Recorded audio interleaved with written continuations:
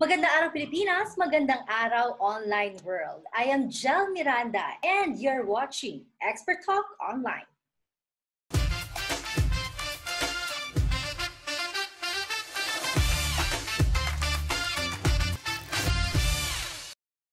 Ang Pilipinas ay isa sa mga bansa sa mundo na madalas tamaan ng sakuna gaya ng bagyo, pagbaha, lindol, gayon din ang pagputok ng bulkan. Isa sa itinuturong dahilan ay ang lokasyon nito sa Pacific Ring of Fire. Ayon nga sa 2017 World Risk Report ng United Nations, Universities Institute for Environment and Human Security, Pumangatlo ang Pilipinas bilang most disaster-prone country sa buong mundo.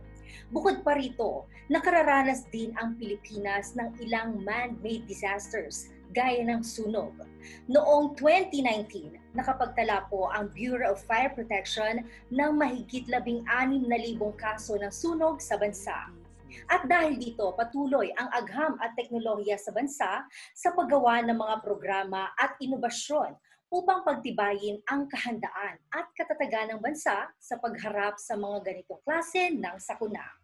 At bilang pakikiisa sa observance ng National Disaster Resilience Month, ngayong araw pag-uusapan po natin ang isang inobasyon na may kakayahang magkolekta at mag-update ng natural hazards, exposure, vulnerability, at coping capacity data. Ito ang GeoMapper PH Imagine using a single platform to collect and access data whether you're in the office or out in the field. Well, imagine no more. Introducing GeoMapper PH. Collect data to populate the National Exposure Database with GeoMapper PH Exposure Data Mapper. Collect, report, and visualize disaster events using the GeoMapper PH Situation Data Mapper. With its integrated web and mobile application, you can easily update and manage your data with the greatest ease and maximum benefit. GeoMapper PH is easy to use and tailored to your mapping needs. It supports more informed decision making and improves data accuracy. And of course, we care about your privacy. With GeoMapper PH, you are ensured that every information you input is securely added to the GeoRIS PH database let us help you enhance your productivity and make your field and mapping experience more efficient, whether you're online or offline. GeoMapper PH. Map anywhere, anytime.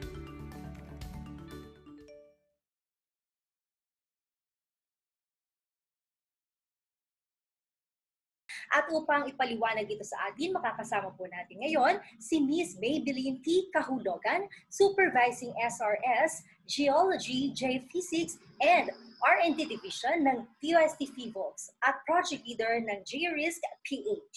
Magandang araw po, ma'am. Magandang araw. Ma'am, pag-usapan po natin itong GeoMapper PH. Ano po ba ito at paano nagsimula ang ideya na mag-develop ng ganitong klase ng teknolohiya? Ang GeoMapper PH ay uh, nilaunch natin uh, kasabay ng 30th commemoration ng Luzon earthquake last July 16 ano. Um, brief background lang kung paano nabuo yung GeoMapper PH. Uh, kailangan kong uh, i-explain yung kabuuan. So yung GeoRisk Philippines or yung GeoRisk PH initiative. Um, nung 2018, nagpasa tayo ng um, project ito ay isang multi-agency project kasama ang DENR-MGB, uh, OCD, NAMRIA, at ang DOST FIVOLX at DOST Pag-asa upang um, i-standardize ang mga hazards data. Kaya nagkaroon po ng GRISC PH integrated system. At uh, dahil po doon, uh, nakapag uh, develop tayo ng mga applications for analysis. Ngayon, nakita natin um, during the program or the project that uh, kailangang merong um, tool para mangolekta ng data. Kasi after na na-standardize yung mga information, kailangan na mag um, bigay tayo ng isang platform kung saan magagamit ng mga um, national government agencies at mga local government units para doon sila mag uh, input ng kanilang mga data. Kaya nga, ang pangalan ng produkto na ni-launch ng DOST Vaults um, noong Thursday ay ang pangalan niya is GeoMapper PH at ang tagline is Map Anywhere, Anytime. Uh, sapagkat uh, sa pamamagitan ng tool na ito ay maaari tayong mag-collect ng data or yung mga exposure data, meaning mga buildings or yung mga assets ng government or local government units uh, upang mag-synchronize doon sa ating uh, isang malaking GRISC uh, PH integrated system upang gamitin para sa hazard at risk assessment. Mag- magagamit din ito um, para sa impact assessment kung sakasakaling magkaroon ng sakuna. Noong 2019 po, nag-launch ang uh, DOST FIVOX na tinatawag namang Hazard Hunter PH. Isa itong uh, one-stop online application na nagbibigay ng initial hazard assessment sa mga sakunagay ng posibleng paglindol, baha o bagyo na may kasama na ring recommendation mula po sa uh, pamahalaan kung ano ang maaaring gawin. Ano po ba ang pinagkaiba nito sa ini-launch natin this year na GeoMapper PH? Ang GeoMapper PH, ang strength niya ay magkolekta ng data at uh, mag-visualize din ng mga information sa pamamagitan ng mga dashboard. Ang Hazard Hunter PH ay isang tool uh, para sa hazard assessment. So, um, dito sa DOST Volks, karaniwan na namin ginagawa or mag, mag-release ng hazard assessment report. Ang mga assessment reports na ito ay uh, sinusubmit sa mga uh, government institutions upang uh, makapag-pasa sila ng project at para sa mga building permits. So, unang-una, ang Hazard Hunter PH ay available sa public. Ngunit ang GeoMapper PH ay available sa mga local government units at mga uh, national government agencies. So yun ang uh, isa sa uh, difference nila. Isang analysis tool ang Hazard Hunter PH at collector tool naman ang GeoMapper PH. Pero paano po ito makakatulong sa kahandaan ng mga Pilipino sa mga darating na sakuna? Lalo po ngayon na may uh, pandemya kung saan mayroon po tayong tinatawag na new normal. Okay. Um, last 2019, uh, banggitin ko lang, nung uh, nagkaroon ng National Land Use Committee meeting, inatasan ng uh, National Land Use Committee na pinangungunahan ng NEDA ang DOST na manguna sa pagbuo ng National Exposure Database.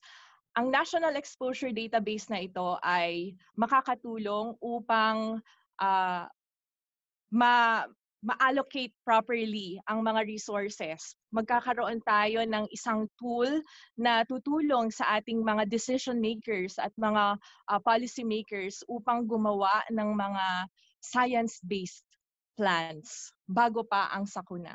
Ngayon kung may sakuna na, makakahugot ang uh, mga information dashboards natin mula doon sa GRISC PH integrated system ng mga na kolektang data at doon ma-analyze natin at mapoproject natin. For example, kung saan yung mata ng uh, typhoon at saka makikita din natin kung ano yung mga exposure, ano yung mga government assets or ano yung mga buildings na matatamaan ng ng typhoon. At kung sakaling maayos naman yung pag-input natin ng mga data bago ang sakuna, for example, merong um, cost, may financial aspect ang isang building, malalaman agad ng pamahalaan natin kung magkano ang pondo na ilalaan bilang tulong doon sa mga masasalantang uh, areas. Ah, okay. So ano naman pong klase ng data ang kinokolekta ng GeoMapper PH mula po sa LGUs na siyang uh, pangunahing gumagamit dito? Ang pagkolekta ng data ay pwedeng offline no at saka um, online ang mga data na ito ay mga uh, buildings, for example, or mga uh, lupa para malaman natin kung ano yung land use ng uh, specific uh, area. Ito ay uh, may mga vulnerabilities or ibig sabihin um, gaano siya katibay, for example, laban sa earthquake or laban sa severe wind. So yun yung mga data na kinokollect ng mga LGUs. Uh, gusto din nating magamit ang GeoMapper PH bilang collector tool at dashboard sa mga LGUs na uh, walang GIS uh, capacity or walang pondo uh, para sa kani-kanilang mga uh, GIS requirements. Ito po ay um, isang web application at saka mobile application na kaya pong i-share ng DOST sa ating mga uh, lokal na pamahalaan at even uh, national government agencies. So yun po, kung financial requirements naman yung kakailanganin, kailangan natin ng detailed information. Uh, for example, for insurance, uh, may mga recovery costs na kailangang uh, ilagay doon sa mga data fields na tinatawag. So depende po din sa uh, mga partner agencies natin or partner organizations dahil customizable ang mga features ng GeoMapper PH, pwede po natin itong i-tailor fit uh, according to their needs. So sa mga data po na nakolekta naman ng GeoMapper PH, malalaman ng isang LGU kung gaano ka-vulnerable ang kanilang lugar sa bagyo o lindol. And from that data, malalaman nila ang mga paghahandang dapat gawin.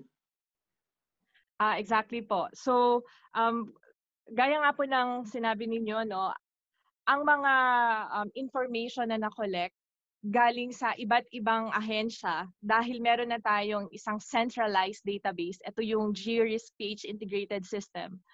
So, yung mga dashboard at mga collector tools ng mga LGUs ay uh, maaaring humugot or i-expose lang natin yung mga data doon sa mga dashboards nila at makikita na nila kung ano-ano yung mga panganib na paparating. Um, and lahat ng mga hazards information din from uh, government agencies kasama na ang DOST FIVOLX para sa mga um, lindol, mga hazards uh, related to earthquake at saka volcanic eruptions ay nilagay na rin po natin doon. At saka from pag-asa naman, lahat ng mga hydrometeorological hazards, kasama po yung MGP doon. Yun po yung kagandahan ng pagkakaroon natin ng isang integrated database kasi um, pwede na, pwedeng mahugot ng mga LGUs para sa kani-kanilang mga um, comprehensive land use plan at other DRR-related uh, plans. So maaari din po bang magamit ang technology na ito kahit offline o walang internet, ma'am?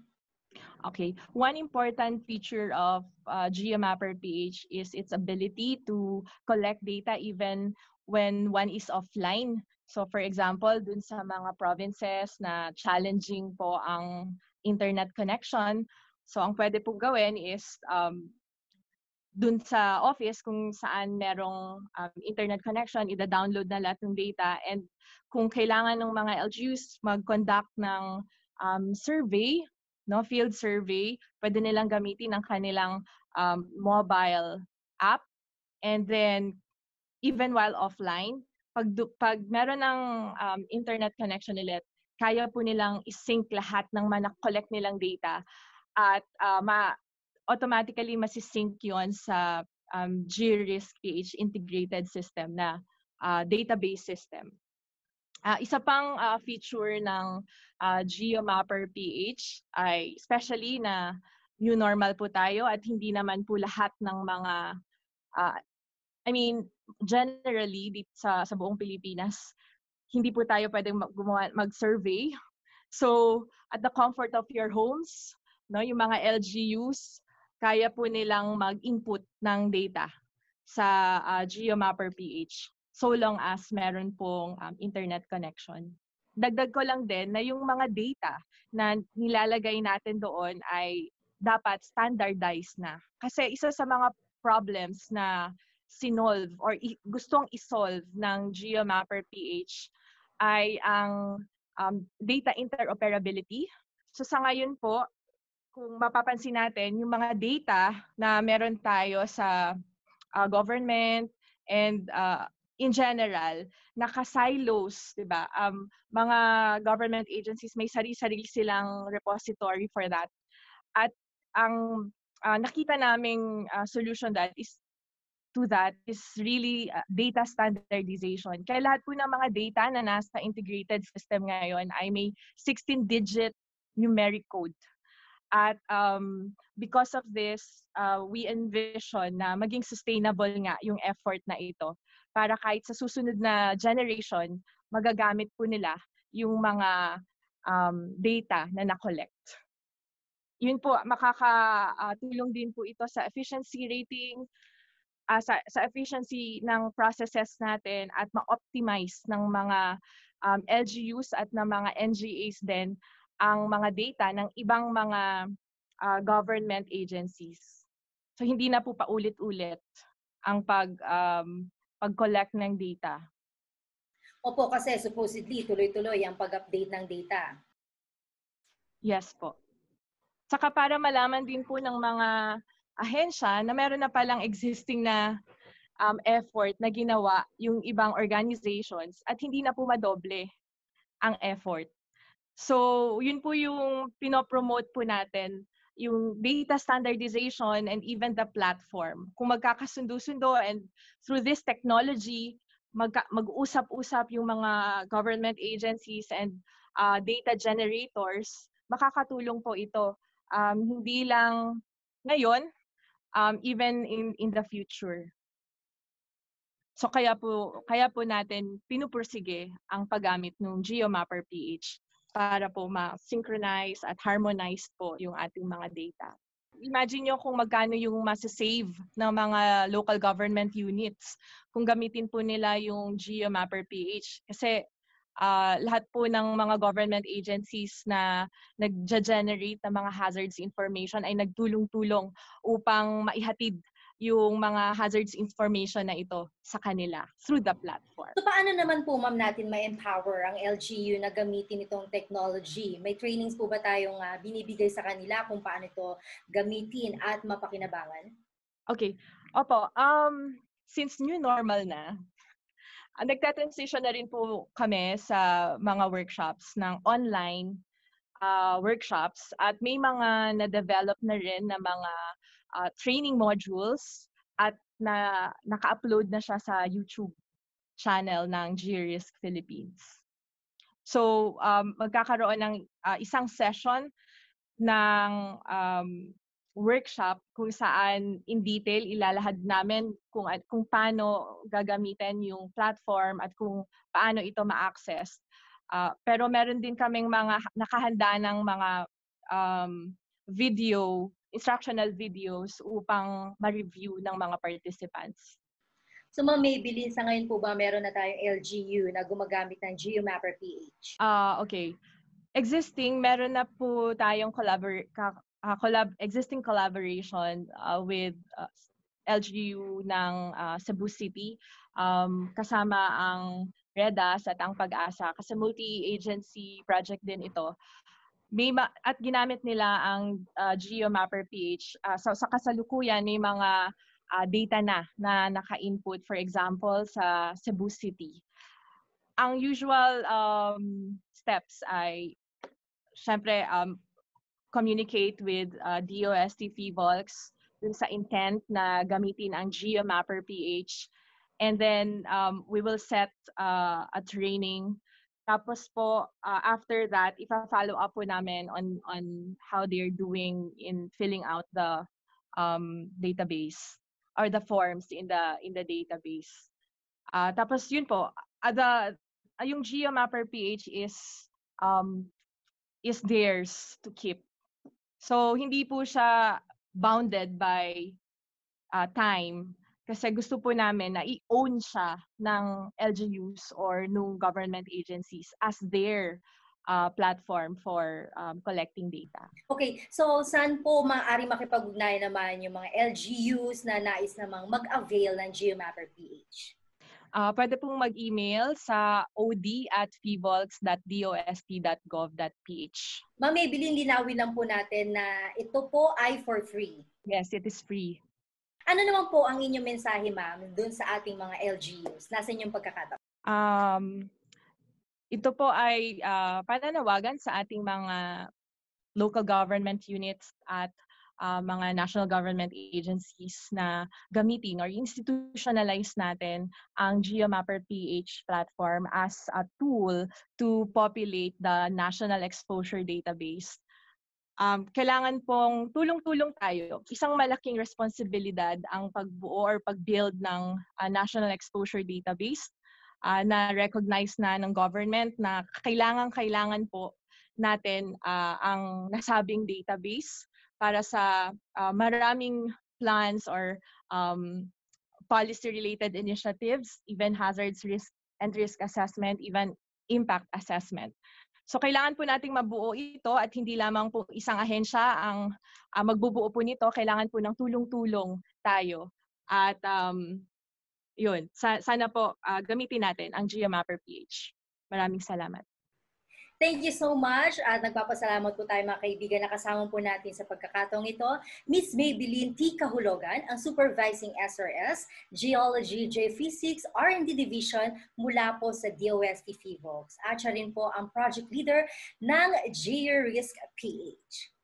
Sa tulungan ng GeoMapper PH, mas magkakaroon ng matalinong pagpaplano at desisyon ang otoridad sa paghahanda at pagresponde sa anumang klase ng sakuna, sa anumang hamon ng buhay. Ang agham at teknolohiya ang ating kaagapan. Muli po magsama-sama tayo sa susunod na Miyerkules, same time, same Facebook page at DOSTVPH. Mga bagong kaalaman tungkol sa siyensya at teknolohiya ating pag-uusapan sa isang makabuluhang talakayan with the expert. Ako po si Jel Miranda and this is Expert Talk Online.